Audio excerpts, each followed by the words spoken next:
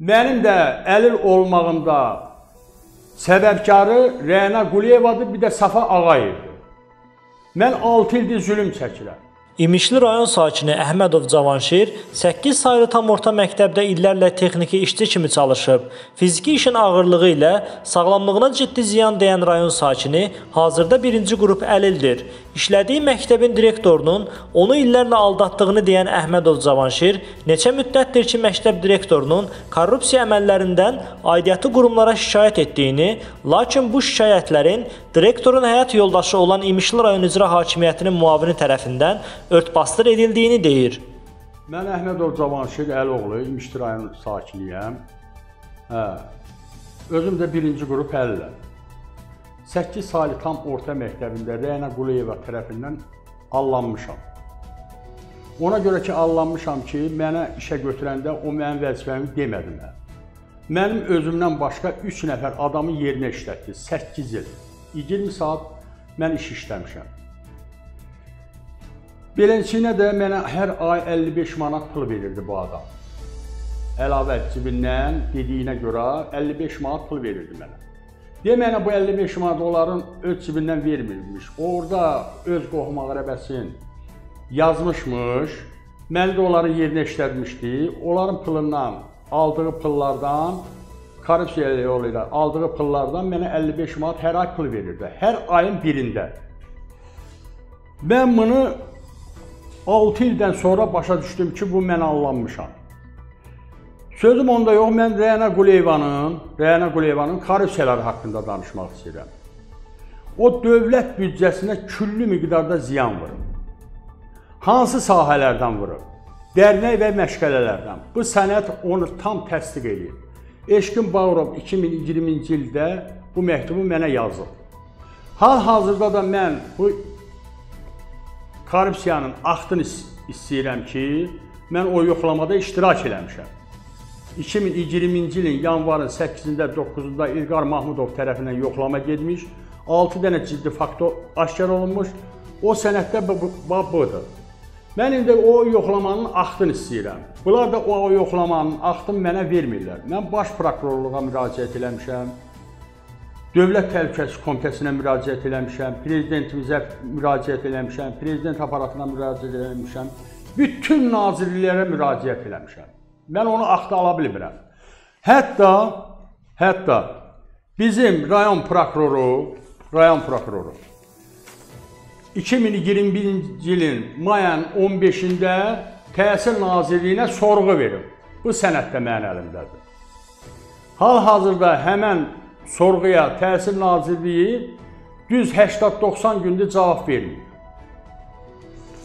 2021-ci ilin iyulun 11-də yenə də məktəbə yoxlama gəlmiş 4 nəfər auditor tərəfindən yenə də onun korrupsiyaları aşkar olunmuşdur. Həmən sənəd Nazirliyin sənəti mənim əlimdədir.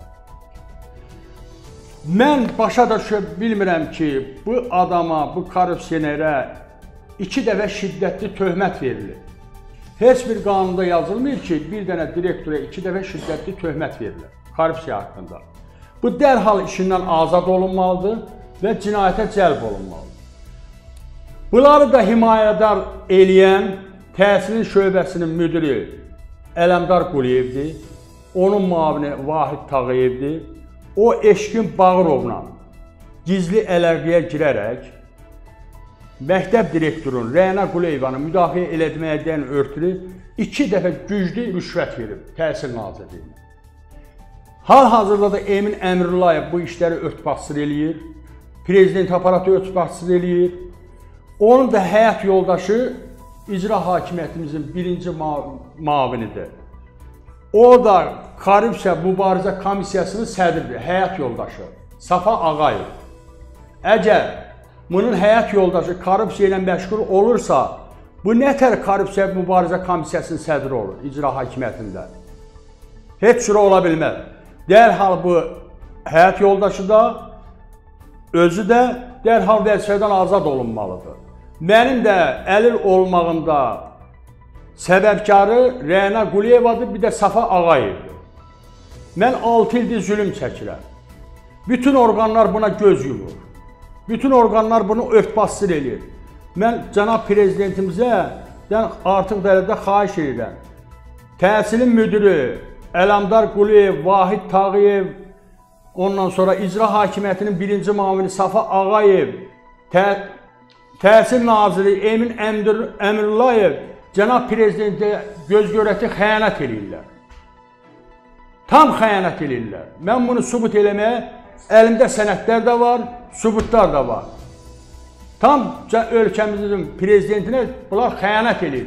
Həmən xəyanətlər davam eləyir, korrupsiya davam eləyir. Mən artıq dərəcədə xahiş edirəm ölkənin prezidentindən, Maliyyə Nazirliyindən, Hesablama Palatasından, Hesablama Palatası ilə Maliyyə Nazirliyi birlikdə təhsil təhsil şöbəsinə gəlsin, İmişli rayonunun təhsil şöbəsinə. Orada bütün korrupsiyalar aşkar olunacaq.